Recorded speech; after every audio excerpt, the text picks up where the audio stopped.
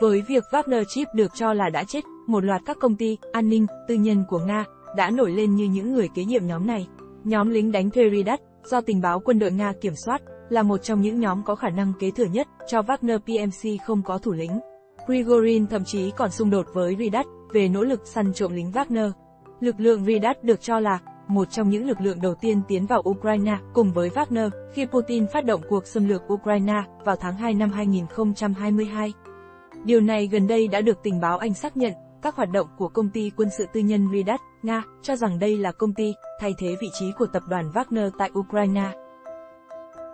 Bản cập nhật tình báo quốc phòng ngày 16 tháng 10 từ Bộ Quốc phòng Anh cho biết, tập đoàn quân sự tư nhân Ridat đang dần thay thế vai trò của Wagner trong chiến dịch quân sự đặc biệt của Nga ở Ukraine. Bộ Quốc phòng Anh tiết lộ, Ridat đang tuyển mộ lính đánh thuê dưới vỏ bọc, tình nguyện viên, bao gồm cả những người từng hoạt động trong Wagner. Theo tình báo Anh, cơ quan tình báo quân đội Nga, GRU, dường như là cơ quan đang kiểm soát lực lượng Ridat. Theo Viện Chính sách Chiến lược Úc, ASPI, lực lượng này nhận được sự hỗ trợ hoàn toàn từ Bộ Quốc phòng Nga và đã hoạt động chủ yếu ở Syria. Ridat là tập đoàn được nhà tài phiệt Gennady Timchenko chống lưng. Tập đoàn này được thành lập năm 2008 bởi các cựu lính dù và sĩ quan tình báo quân đội Nga. Trước khi tham gia chiến dịch quân sự đặc biệt ở Ukraine, Redat chủ yếu cung cấp dịch vụ an ninh cho các công ty Nga ở Trung Đông. Theo báo Pravda, kể từ khi Nga mở chiến dịch quân sự ở Ukraine vào năm 2011, Redat được cho là đã tham gia các cuộc giao tranh ở Donetsk, Kharkov, Kiev và Lugan.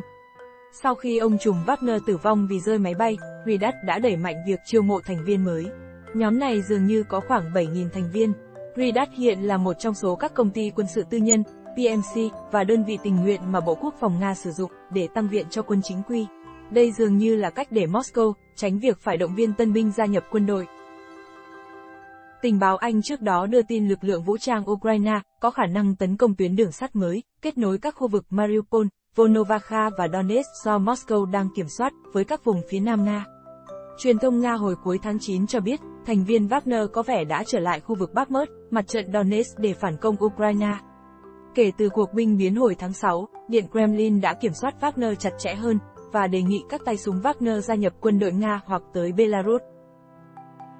Cảm ơn các bạn đã xem bản tin.